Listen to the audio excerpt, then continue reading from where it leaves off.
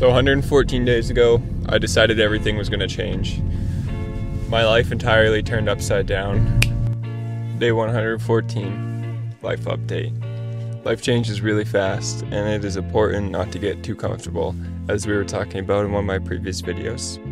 I have developed more throughout life in the last 114 days than it feels like in the last 22 years of my life. Um, my business is closing. I'm moving out of my house. I've really been enjoying making the little motivational videos, especially with just how my life's been going recently. I need a little motivation myself, and they're fun to create. They're really, really fun to create. So, me and my girlfriend have decided that we're not really too sure what we want to do.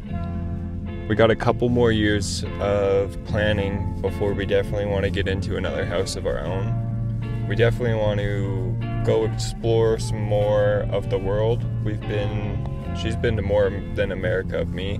Um, I've been to Seattle, Washington, uh, I've been throughout Canada. She's been to a couple other places. Thank you guys for tuning into this little video. Um, I know these videos recently haven't been too cool. There's not too much going on. Um, life's been really busy. There's been a lot going on.